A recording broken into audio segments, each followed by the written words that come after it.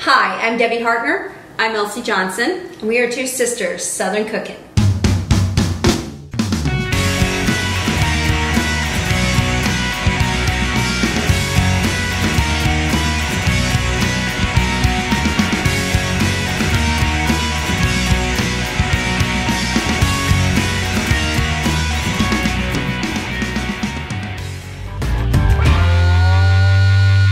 Good morning. Good morning. So, what is it? This time of the year is always like you want to start getting into your fall cooking and your baking, and there's nothing better than in the fall than going to IHOP and having a uh, like a pumpkin um, Pancake. pancake or some kind of a squash pancake or something like that. So we had cushaw that was cooked that was left over from our pie last week. So you have to use it up within a week. If it's in the refrigerator, if it's in the freezer, then it's good for several months. So, Right. so we wanted to go ahead and, and try to use it up as much as possible. So we got cooked uh, cushaw that we're going to put into our ingredients. So basically, we're going to have cushaw pumpkin uh, flavored um, pancakes. Yes.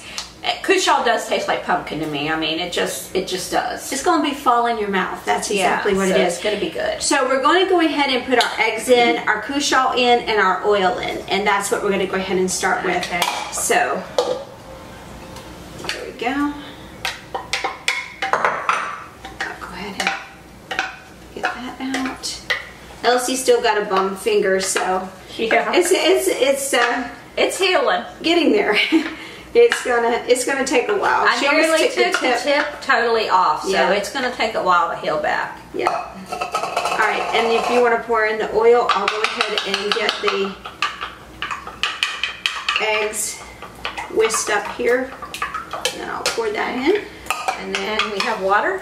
And We are going to hold off on the water for just one moment because we're going to mix this together and then we're going to put in our dry ingredients. So we have some extra spices in there like cloves and ginger and we have cinnamon, nutmeg, brown sugar. allspice, and you know, it's going to be fall in your mouth. That's exactly what it's going to be.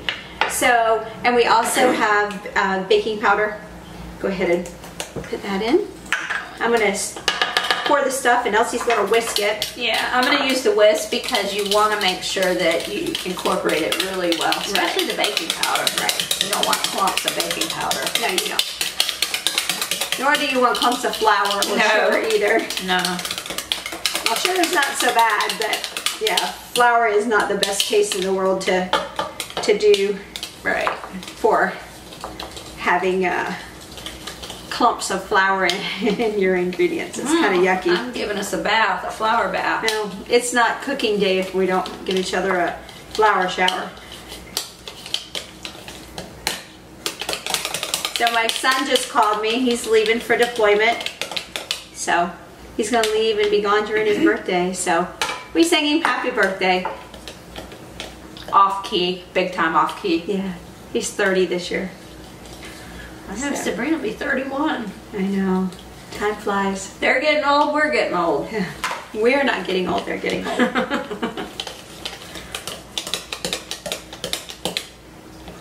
so,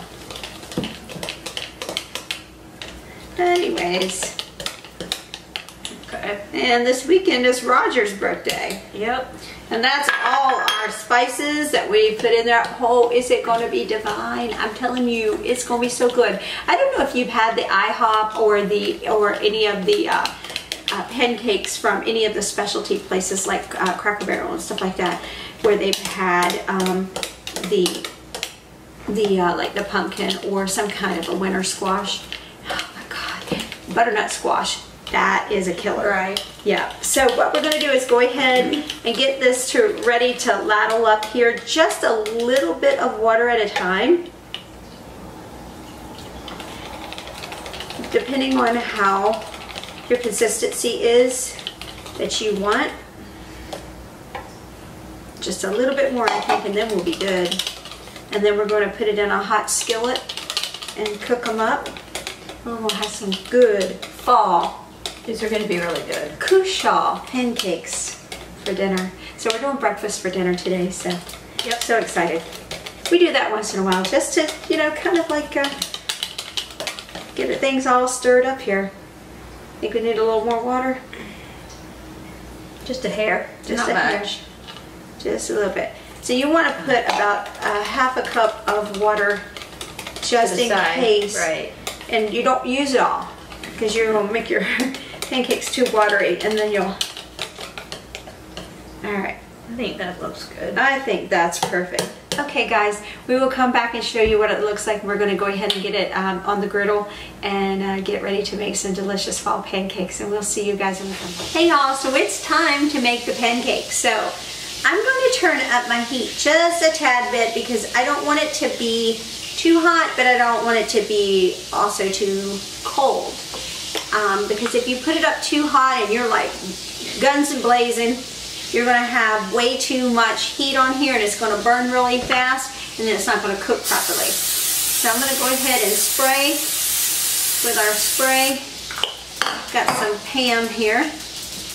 I got it about 275 and I'm going to take one little like dipper full of our pancake batter. I'm just going to put it on here. Let it go ahead and just get ready to cook up. We're not going to make huge pancakes with this. We're going to make small ones. You can spread them out a little bit. All right, guys, we're going to let these cook and we'll be right back.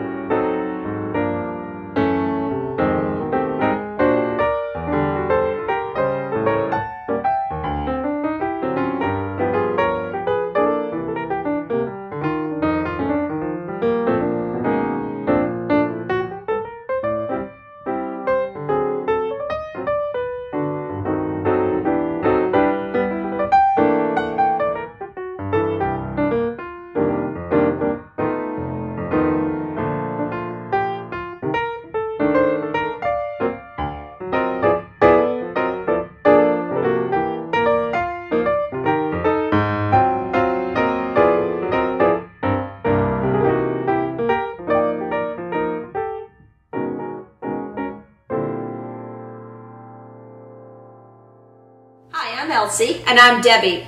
We're two sisters Southern Cooking. and we thank you for visiting our page. Please like, share, and subscribe. Thank you. This show is produced by Two Sisters Productions, McRae, Georgia.